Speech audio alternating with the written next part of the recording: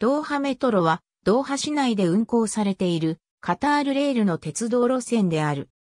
あるは倉駅駅舎 2022FIFA ワールドカップ開催に合わせて2019年5月8日に開通した都市高速鉄道で全線でグレードオブオートメーションレベル4に相当するネテンギドトレーンオペレーション自動運転が行われている。計画路線すべてが完成すると総延長300 300km 以上、100駅以上に達する一大鉄道プロジェクトであり、世界最大規模の都市鉄道プロジェクトとされる。地下鉄のみならず、カタール各地や隣国までも結ぶ長距離鉄道の一部ともなる予定である。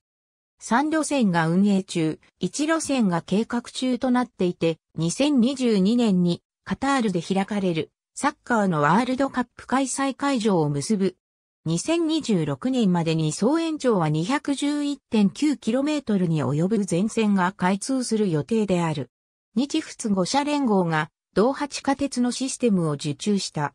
レッドグリーンゴールドの各路線は乗り換え駅であるムシェイレブ駅を中心に放射状に広がっている。ドーハメトロで使用される車両は近畿車両が製造を手掛けており、全自動運転を行う3両編成となっている。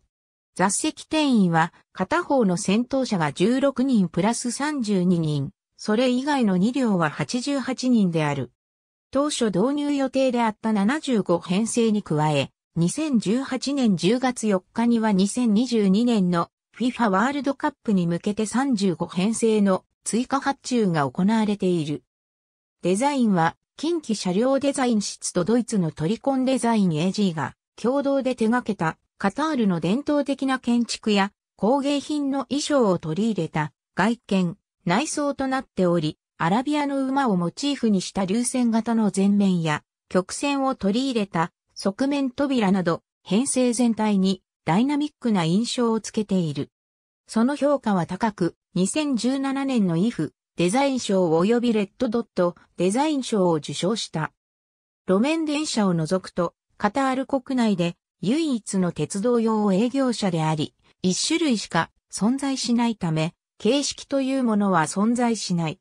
編成ごとに番号が振られており、車両は前から A 号車、B 号車の順で、一番後ろが C 号車である。A 号車は運転台寄りの搬出がゴールドクラブ残りの搬出がファミリークラスとなっている。ゴールドクラブはほぼすべてがロングシートであるが、各座席が独立していて、座席間に固定式と可動式の肘置きが交互に設けられているほか、運転台付近に2席のみ、クロスシートが存在する。ファミリークラスは、セミクロスシートで運転台方向に向かって、右側がクロスシート、左側がロングシートとなっている。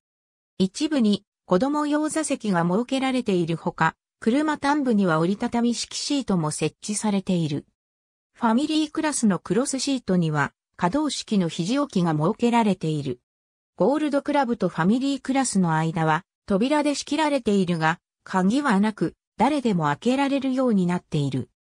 B 号車、C 号車はすべてスタンダードクラスになっており、ほぼすべてがロングシートであるが、C 号車の運転台付近に2席のみ、クロスシートが存在する。A 号車と B 号車の間には、仕切りが設けられているが、こちらは、ゴールドファミリー間の仕切りと違って、扉はなく、簡易的な赤色のロープが存在するのみである。B 号車と C 号車の間には、仕切りは存在しない。車内には携帯電話、スマートフォンの充電用 USB ポートのほか、荷物置き場、車椅子やベビーカー向けフリースペース、優先座席、車内 Wi-Fi 等、日本の鉄道車両と同様の設備が備わっている。トイレは存在しない。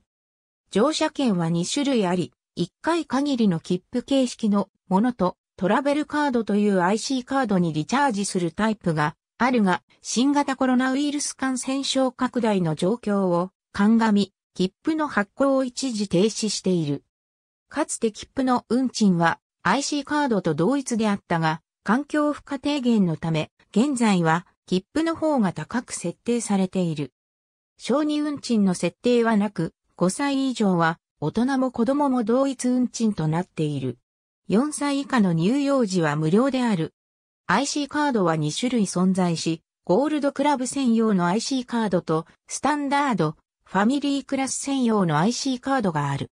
ゴールドクラブ専用の IC カードのデポジットは100、リアル、スタンダード、ファミリークラス専用の IC カードのデポジットは10、リアルである。スタンダード、ファミリークラス専用の IC カードは、各駅にある自動券売機、または各スーパーに所在する販売店で購入することができる。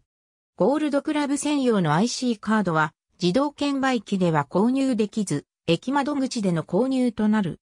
各 IC カードは、自動改札機にタッチすると、自動的に各座席クラス分の運賃が差し引かれる仕組みとなっているため、各座席クラスごとにそれぞれの IC カードを購入する必要がある。入場から出場までの時間は最大90分以内となっており、この時間を超えると新しい切符、または IC カードの場合は再度一乗車分の運賃が自動的に差し引かれる仕組みになっている。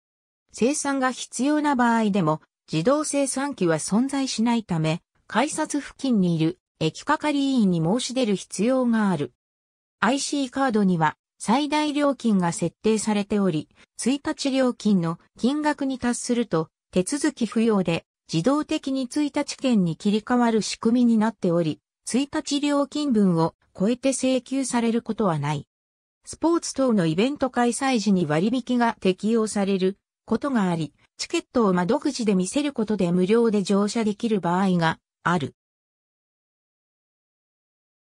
国営交通会社、ムーアーサラーとモーセラット社の IC カードとは共通化されておらず、相互利用もできない。切符も IC カードと同様に自動改札機にタッチしての利用となる。ホームドアの各扉上部に表示された各座席クラスに従い乗降する。駅と車両内での飲食は一切現金である。駅構内、車内での喫煙も現金であるが、駅によっては、駅外に喫煙所が設置されている。自転車は折りたたみ式のみ折りたたんだ状態での持ち込みが可能である。電動式のホバーボードスクーター、キックボード、並びに折りたためない自転車は持ち込み不可である。ペット同伴乗車は、盲導犬、介助犬、聴導犬等を除き、一切認められていない。8歳以下の子供は16歳以上の大人の付き添いが必要となる。メトロ利用客は各駅から出ている